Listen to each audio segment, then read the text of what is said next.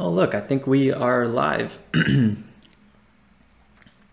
Welcome everyone to the uh, live stream. Um, so last week, this kind of happened. Uh, hey, uh, hey, Alex, um, do you have you heard about that new Bakkt? What do you what do you think about that? Um, yeah, yeah, that uh, Bakkt with the institutional investors. mm, yeah, pretty pretty interesting. Uh, that was me uh, just about two three days ago. I had i was pretty caught off guard with Bakkt. And what's weird is i actually have been using the bitcoin futures a bit and i have been um, pretty uh, kind of invested in that area in just terms of you know constantly being um, checking it out. And I'm gonna show you exactly what I mean by that a little bit later in this video. But first what is Bakkt? Actually no but first you probably saw in the, the thumbnail that Jim Cramer's on here. I'm going to be a little sorry. He's not going to be in this video. That was from a few years ago on the floor of the New York Stock Exchange. So not for this video, but um, let me go ahead and just quickly share my screen um, because, oh boy, I get this wrong every time. Let me make sure I get the right hotkey going on here. Okay, I got it. Um, so here's a little post I just made here are some key points. We're just going to go over the key points very quickly, and then we're going to dive right into everything. Um, so what is Bakkt? Bakkt is a Bitcoin futures exchange and digital assets platform uh, founded in 2018 by the ICE the Intercontinental Exchange. That's basically the exchange that is the owner of the New York Stock Exchange, and they got their fingers in everything uh, Wall Street related. So they're kind of like the big player on uh, the New York on Wall Street. Um, so it's a U.S. company that wants to offer institutional crypto futures uh, trading and assets management. Um, we'll dive into that a little bit more as well. Just let's get some of these terms out of the way. Um, so the CFTC, the Commodities Future Trading Commissions, just gave them the green light uh, to basically the go ahead, and they are ready to launch. Someone else that's kind of important that you should probably uh, just you know keep in mind is Kelly Loeffler. I hope I'm saying that name right. Uh, she is the CEO of Bakkt, and um, the big thing about um, I would say Bakkt right off the back, if you want to just end the video right now, is the fact that they offer big security for institutions to come in there. So let's say if your 401k wants to invest in uh, crypto, now they have an outlet to do that, right? And the second thing of the Bakkt um, futures and why they're so interesting, I think they're so interesting, and I think a lot of other people think they're so interesting, is because they offer physically backed futures. And that is one of the big differences that I just kind of hinted on right in the beginning of this video um, with a little bit of futures trading. so, um, yeah, let me let me actually dive into that point because I think that point's really interesting. And then I'm going to dive into a few other things. I'm just going to quickly switch the order up a little bit. I didn't really have too much of a plan, but I opened a few things I want to discuss here. And this is really interesting. You you've definitely probably definitely probably heard of some Bitcoin features going on and whatnot. Um, and I was doing a little research on this because I couldn't really wrap my head around it. I'm like, wait, there's already other institutions that offer Bitcoin futures trading. I don't really get it. What's going on here? So I went through, um, for example, TD Ameritrade is one of the um, uh, exchanges uh, and brokers that, well, I guess a broker, um, where you can find Bitcoin uh, futures. So I was going through here, I couldn't really figure out, um, you know, what the difference was. Um, and then I read this article from TD Ameritrade a little bit deeper, and then I found it. I found this. Um, I found what I was looking for. And here, here it was. At TD Ameritrade, we don't allow clients to take physical delivery, so the expiring contracts need to be closed prior to settlement. So with futures, if you don't already know what futures is, it's basically set up. So let's say the classic example would be a farmer, right? The farmer wants to know that in the future they can buy maybe some seeds or sell their crops at a given price. So they say, listen, I want to buy, let's say, um, Bitcoin seeds or whatever, um, just seeds at, let's say, $10,000, right? And in the future, I don't want to have to, you know, worry if the price is more expensive or if it's cheaper. I just want that price because I need to do my business calculations for that. So I'm going to give you a little bit of premium. I'm going to give you, let's say, $500 to guarantee me that price uh, in X date in the future, right? That's really what futures is in a nutshell. One second, coffee break. So what with um, so now how so where where does this whole you know physical and um, non-physical uh, thing take place and why is Bakkt so important? Bakkt is the first um, cryptocurrency um, platform um, asset management for the futures that will allow in physical settlement. So with Coinbase, I mean with uh, sorry, I always trade on Coinbase with TD Ameritrade. The big thing is that they don't allow physical settlement. They require cash settlement in advance. So basically on that date in the future, you're never going to get any um, Bitcoin seeds or whatever you might be uh, dealing with. The thing you will be getting is simply the cash value. So you can go take that cash and then buy it somewhere else. So it's a little bit different. Um, it's more of an arbitrage uh, move, I guess you can say, um, but it's not really uh, physical backed futures. So that was always the big difference. Um, so just, I want you guys to keep that in mind because that was one thing that I was having a hard time wrapping my head around. And actually here, here was here is an example of um, Bitcoin futures on TD Ameritrade. This platform is Thinkorswim. This is the platform I use most of the time for my uh, day trading when it comes to equities. And so, you know, here you can see the futures contracts. Right now, the market is closed, so obviously not too much going on. Um, but just in general, you know, this has always been there. Well, not always, but um, for a few months now. I think in early 2019 this launched. I would have to check that again, but um, I've been watching this uh, most this year. So at first, I was a little confused with the Bakkt release because that part of the physical contracts and the non-physical contracts, so basically cash settlement futures, um, I wasn't really aware of that at first. So um, that was a big eye opener to me. And um, I think it's really interesting and something you should really take away um, from this Bakkt launch. Um, let me go ahead and just close that because who knows, it might be slowing down my live stream. Okay, so here's a few things that I also want to mention. Um, this is, where is she again? This is Kelly LaFleur. LaFleur, I hope I'm saying that right. Um, this is her right here. And this is a pretty interesting article by Fortune. And a big thing about this article that I went through and um, I know what is one of my big takeaways was the I can't find it right now. I had this article, this part highlighted, but I'll just kind of say it out of memory. You guys can check this article out on your own time. All the links are in the video description below. Um, is basically the fact that um, they are working with very big institutions um, from Microsoft to, you know what, actually, I think this is, I talked about this somewhere as well. Uh,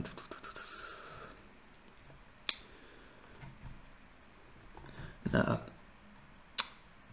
yeah, I had these highlighted and I took a picture of a few of them, but I don't think I managed to take a picture of this one. Basically, they're working with a lot of larger institutions that might want to offer this in terms of, you know, payment services or just some sort of risk management or diversification or, um, you know, offering, uh, let's say, you know, if, if Bitcoin, I mean, if let's say Amazon wants to offer uh, or Windows wants to offer payment solutions, um, they can use the Bakkt platform uh, to, you know, store their Bitcoin assets. And a big thing that I've read in these few articles, so uh, Kelly came out with uh, three uh, Medium articles recently, and I would say the theme of each one from the introduction uh, to Bakkt from uh, which launched last year in August, and then this one uh, launch update in November last year. Um, a lot of these things come down to this right here, Instu institutional grade crypto warehouse solution. So basically, um, the having security, right? A lot of um, people and myself um, have a big, I guess. I guess some sort of lack of trust when it comes to you know storing your crypto. Where do I store it? Do I store it on a cold wallet? Do I store it on an exchange? Um, where's the safest place? Because nothing you know I guess would be a perfect solution. Um, I myself has have been hacked. If you check out a few videos ago, you can see uh, where I tell my whole entire hack story. Um, so I think that's a big thing. So where do you store a Bitcoin? What's a safe like place to uh, store my Bitcoin, especially if I'm going to move over, you know, 200, 400 million dollars, like a lot of these institutions are moving over um, apparently every week. So you know, you want to have a really clear answer for that. And I think that is one of the big things that Bakkt uh, offers. Um, yeah, so let's see here. Um, one cool place to get a lot of news right off the bat, I just followed them myself. Well, I thought I did, but it looks like I maybe unfollowed them. I don't know what happened. Um, if is just their Bakkt Twitter um, post. This is how I found a lot of the articles.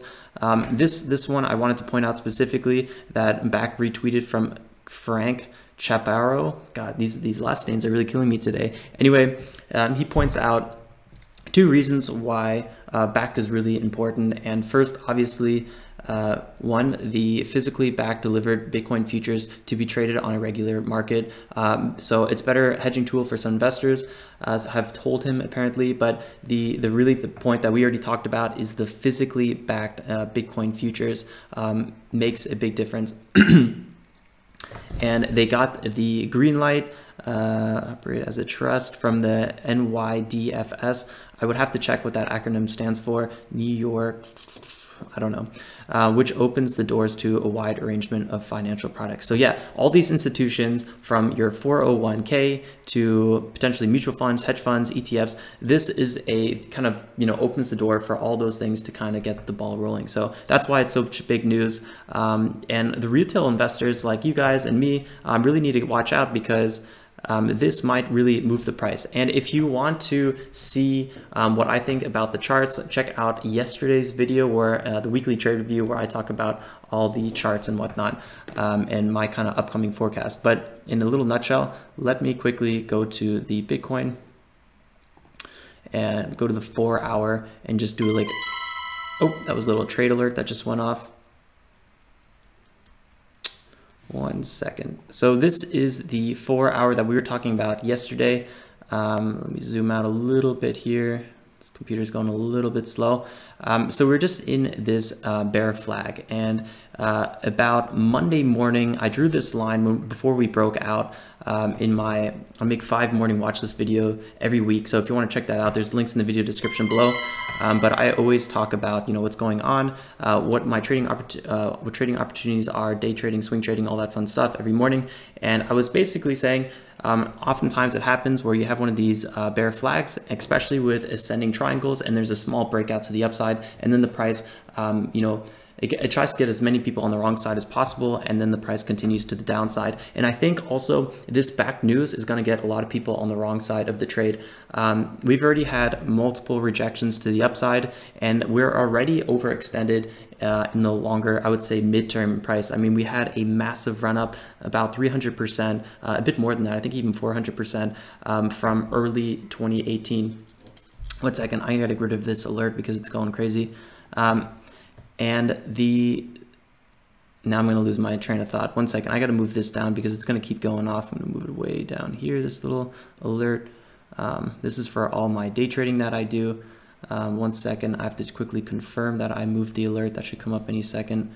Save, and then back to Bitcoin. So back to what I was saying, I think this um, Bakkt alert is going to get a lot of retail traders on the wrong side of the trade. Why? Because I think institutions, they want the price to go back down so they can keep averaging up their price. They want to average, have their cost per unit under $9,000, I believe. I believe they also have been averaging in, in the whole time the price is under $9,000.